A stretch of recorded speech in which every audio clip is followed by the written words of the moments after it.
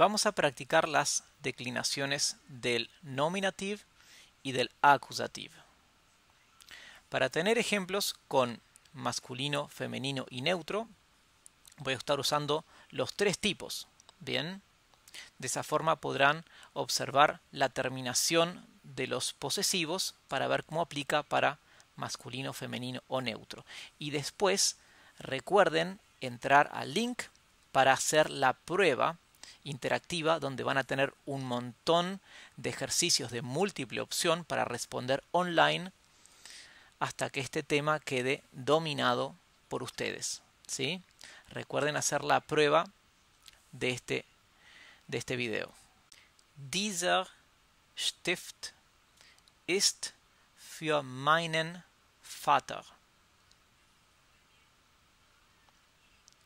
Diese Katze ist für deine Mutter.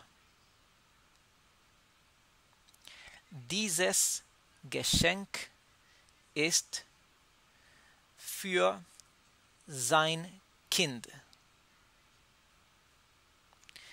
Dieser Stift ist für ihren Vater.